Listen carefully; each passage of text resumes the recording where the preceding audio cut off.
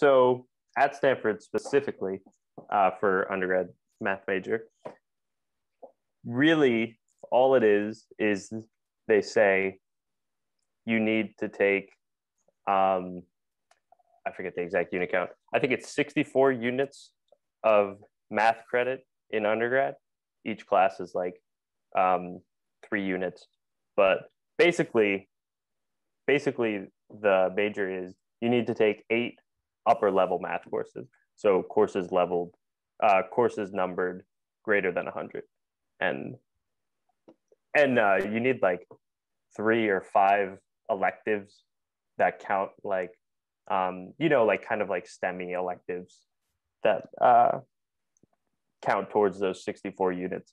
But yeah, it's basically just take eight, um, just take take take eight higher level math classes, and I think this may be more common than I originally thought across other schools. But um, yeah, it's nice because uh, you can have you can have a very strict or maybe not strict, but you could have a very standardized program, or you could have a program such as that where they give you the freedom to say like, okay, just take any upper level math classes and you're good.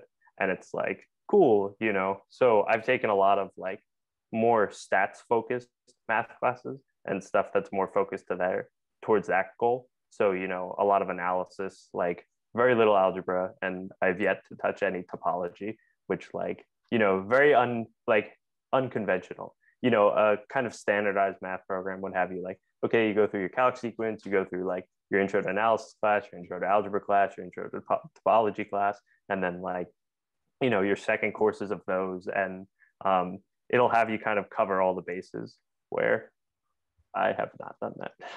okay. So Stanford is is flexible then in its math program. Yeah, it's very nice.